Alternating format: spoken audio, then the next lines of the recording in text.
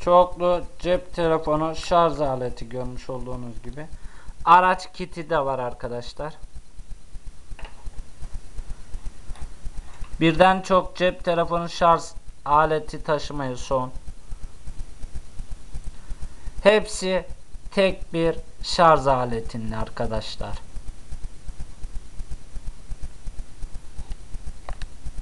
Çoklu cep telefonu şarj aleti. Kablosu uzundur.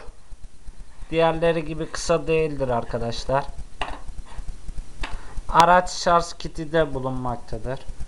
Bakın kablosunun uzunluğuna bakın.